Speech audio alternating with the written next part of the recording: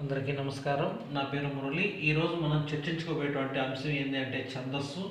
ఛందస్సులో మనం ఈరోజు మనం మాట్లాడుకోబోయేటువంటి అంశం ఏంటంటే సీసం ఏం మాట్లాడుకోబోతున్నాం? సీసం అనే అంశాన్ని గురించి మనం చర్చించుకోబోతున్నాం. సీసం అని చర్చించుకోబోయేటువంటి ముందు సీస పద్యానికి సంబంధించి మొత్తం ఫోర్ లైన్స్ ఉంటాయి. ఫోర్ లైన్స్ మనకు ఎయిట్ లాగా కనిపిస్తూ ఉంటాయి సీస పద్యం అందరూ చూసే ఉంటారు. ఇలా ఉంటుంది. ఒక పొడుగు పాదం పొట్టి పాదంగా అవన్నిటినీ కలిపి మనం నాలుగు పాదాలు అంటాం. ఈ రెండు కలిపి ఒక పాదం అని ఈ రెండు కలిపిని మనం ఒక పాదంగానే తీసుకోవాలి. ఆ విధంగా ఇంకో రెండు పాదాలు మన కింద ఉంటాయి. నేను ఇక్కడ రెండు మాత్రం రాశాను. ఒకసారి చూద్దాం. చిన్నారి పొన్నారి చిరుత కోకటి నాడు రచయించితి మరుత్తరాచరిత్ర నూనూ విశాల నూత్న యౌవనమున శాలివాహన సప్త సతీనుడివితి చిన్నారి పొన్నారి చిరుత కూకటి నాడు రచయించితి మరుత్తరాచరిత్ర. నూనూగు మీసాల నూత్న యౌవనమున శాలివాహన సప్తసతి నుడివితి శ్రీనాథుడు తన కావ్యాల గురించి ఒక శేష పద్యంలో చెప్పుకున్నాడు. చిన్న చిన్నప్పుడు ఆయన రాసినటువంటి కింద మృతురాట్ చరిత్ర అని మీసాలు ఏర్పడేటప్పుడు రాసిండే శాలివాహన సప్తసతి అని ఈ విధంగా ఆయన శేష పద్యంలో ఆయన రాసినటువంటి కావ్యాలన్నింటినీ గురించి ఆయన మాట్లాడుకుంటాడు. అయితే శేష పద్యానికి లక్షణం ఏముంది? ఒకసారి చూద్దాం. ఇది ఉపజాతి పద్యం. ఉపజాతి పద్యం శీస పద్యం ఉపజాతి పద్యం. ఇందులో నాలుగు పాదాలు ఉంటాయి నాలుగు పాదాలు ఉంటాయి ప్రతి పాదం నందు ప్రతి పాదం నందు ఆరు ఇంద్రగణాలు ఆరు ఇంద్రగణాలు రెండు సూర్యగణాలు వస్తాయి. రెండు సూర్యగణాలు వస్తాయి. అదేవిధంగా ప్రతి పాదం నందు ప్రతి పాదం నందు ఒకటి మూడు ఐదు ఏడు గణాలకు మొదటి అక్షరాలకు మొదటి అక్షరాలకు ఎతి చెల్లును. ఎతి చెల్లును. దీంట్లో ప్రాస నియమం లేదు. ప్రాస నియమం లేదు. ప్రాస ఎతి చెల్లును. ప్రాసయితి చెల్లును. ఇంకా సీస పద్యం చెప్పిన తర్వాత సీస పద్యం చెప్పిన తరువాత సీస పద్యం చెప్పిన తర్వాత తేటగీటి పద్యం కానీ తేటగీతి ఆట వెలది పద్యాలలో ఏదో ఒకటి చెప్పాలి. ఏదో ఒకటి చెప్పాలి. అప్పుడు పద్యం సంపూర్ణం అవుతుంది పద్యం సంపూర్ణం అవుతుంది. తేటగీతి పద్యం కానీ ఆటవలది పద్యం కానీ ఏదో ఒకటి చెప్తే మనకు పద్యం సంపూర్ణం అవుతుంది ఇది ఉపజాతి పద్యం ఇందులో నాలుగు పాదాలు ఉంటాయి. ఉపజాతి పద్యం నాలుగు పాదాలు ఉంటాయి. ఒకటి రెండు ఇక్కడ నేను రాశాను. మిగతా రెండు పాదాలు మనం చూద్దాం. నాలుగు పాదాలు ఉన్నాయి. ఓకే.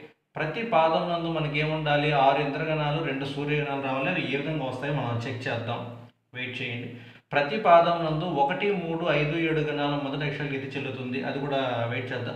ప్రాస నియమం లేదు. ప్రాస అంటే మనం పద్యపాదం వందలి నందలి రెండో అక్షరాన్ని ప్రాస అన్నాం.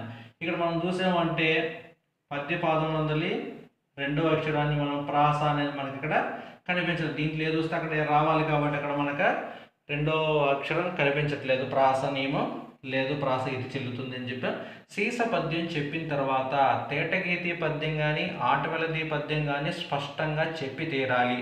అలా చెబితేనే పద్యం సంపూర్ణం అవుతుంది అనే విషయాన్ని మనం అక్కడ గుర్తుంచుకోవాలి. ఇప్పుడు వీటికి లఘువులు గురువులు ఒకసారి చూద్దాం. చిన్నారి అంటున్నాం ఇంద్రగణాలు అన్నాం ఇంద్రగణాలు ఆరు రావాలి అన్నాం. ఇంద్రగణాలు మనకు మొత్తం ఎన్ని ఉన్నాయి ఆరే ఉన్నాయి. ఇంద్రగణాలు మనకు మొత్తం ఆరు. నల నగ సలా భగనం రగనం తగనం అదేవిధంగా సూర్యగణాలు రెండు రావాలి అన్న. సూర్యగణాలు రెండు. ఒకటి నా ఇంకొకటి హా హగనం అనేది రావాలి. ఇక్కడ వీటిల్లో మనం గుర్తుంచుకోవాలి. ఆరు ఇంద్రగణాలు రావాలన్నాం కాబట్టి వరుసగా అది ఇది రావాలి వచ్చింది రాకూడదని లేదు.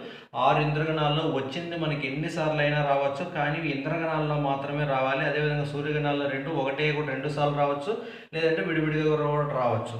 ఇప్పుడు లఘువులు గురువులు గుర్తిద్దాం. చిన్నారి అంటున్నాం. ఇక్కడ ద్విత్వాక్షం ఉంది కాబట్టి ఇది గురువు అవుతుంది.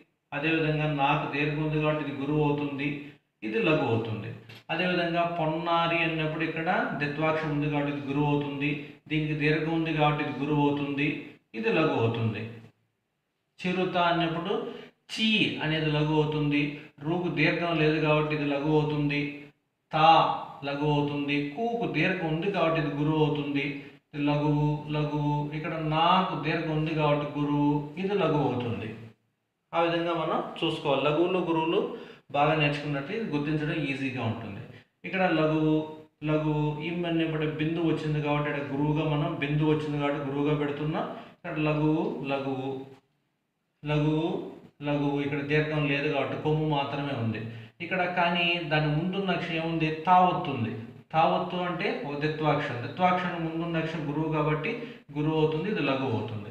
అదేవిధంగా ఇక్కడ రా దీర్ఘం ఉంది గురువు అయింది. ఇక్కడ ఆల్రెడీ సంయుక్తాక్ష ఉంది కాబట్టి అది కూడా గురువే అవుతుంది కాబట్టి లఘు అవుతుంది. ఇక్కడ సంయుక్తాక్ష ఉంది కాబట్టి ఇది గురువు అవుతుంది అది లఘు అవుతుంది. ఈ విధంగా మనం గుర్తుంచుకోవాలి. వృత్తాల్లో అయితే మనం మూడు అక్షరాలు సపరేట్ చేసాం కానీ వీటిల్లో అలా చేయకూడదు. ఇంద్రగణాలు సూర్యగణాలు అనేవి పర్ఫెక్ట్గా నేర్చుకోవాలి. ఇంద్రగణాలు సూర్యగణాలు పర్ఫెక్ట్గా నేర్చుకున్న తర్వాత ఇవి గుర్తించడం ఈజీగా ఉంటుంది. ఫస్ట్ మనం ఏం చేయాలని చెప్పాం? మూడు అక్షర గణాలను చెక్ చేసుకుంటాం కరెక్ట్గా వస్తాయా లేదా అని. తర్వాత రాని పక్షంలో నాలుగు అక్షర గణం చూస్తాం. అలాగే చూద్దాం ఇప్పుడు. మూడు అక్షర గణాలు గురువు గురువు లఘువు. ఎక్కడన్నా ఉందని చెక్ చేస్తే గురువు గురువు లఘువు అనేది వచ్చింది. వచ్చేసింది కాబట్టి ఆటోమేటిక్గా మనం ఏం రాస్తాం? తగనం ఒక ఇంద్రగణం అదేవిధంగా రెండోది మనం చూస్తే గురువు గురువు లఘు గురువు గురువు లఘు తా అనేది వచ్చింది కాబట్టి ఇంకో ఇంద్రగణం వచ్చింది. తా.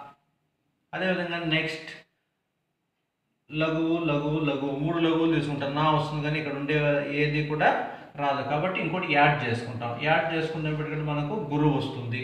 మూడు లఘువులో గురువు ఏమొస్తుంది? ఇక్కడ మనకు నగ అనేది వస్తుంది. మూడోది మనకు నగ అని ఇంతగానో వచ్చింది. అదేవిధంగా లఘువు లఘువు గురువు. లఘువు లఘువు గురువు తీసుకుంటే ఇక్కడ ఎక్కడ మూడు అక్షరాలు లేవు ఇక్కడ లేవు. కాబట్టి ఇక్కడ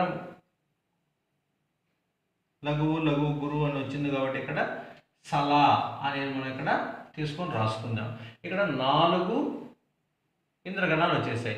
ఇంకా మనకి ఎన్ని ఇంద్రగణాలు రావాలి? రెండు ఇంద్రగణాలు రావాలి. లఘువు లఘువు గురువు. లఘువు లఘు గురు ఇక్కడ లేవు కాబట్టి ఇంకోటి యాడ్ చేసుకుందాం. లఘువు లఘువు గురువు. అప్పుడు ఏమొస్తుంది మనకి ఇక్కడ? సలా అనేది వస్తుంది. అదేవిధంగా లఘువు లఘువు గురువు ఇక్కడ ఏం రాదు కాబట్టి మళ్ళీ సలా అని ఇక్కడ వస్తుంది. ఇప్పుడు ఒకటి రెండు మూడు నాలుగు ఐదు ఆరు. ఆరు ఇంద్రగణాలు అనేటివి మనకి ఇక్కడ వచ్చేసాయి. ఓకే ఆ తర్వాత మనకు రావాల్సింది రెండు సూర్యగణాలు. రెండు సూర్యగణాల్లో మనకి ఏముంది ఒకటి నగనం ఉంది రెండోది హగనం ఉంది. నగనం అంటే మూడు లఘువులు రావాలి మూడు లఘువులు అక్కడ రాలేదు. కాబట్టి గురువు లఘువు వచ్చింది. కాబట్టి ఇక్కడ హారాసం అదేవిధంగా ఇక్కడ కూడా హగనం వచ్చింది కాబట్టి ఇది కూడా ఓకే. ఇక్కడ ఉపజాతిపద్యం ఉంది నాలుగు పాదాలు ఉన్నాయి. అదేవిధంగా ఆరు ఇంద్రగణాలు రెండు సూర్యగణాలు ఉన్నాయి ఇప్పుడు ఒకటి మూడు ఐదు ఏడు గణాల మొదటి గణము అంటే అక్షరముల సముదాయం. ఇది దీన్ని ఒక గణం దీన్ని ఒక గణం దీన్ని ఒక గణం అంటాం.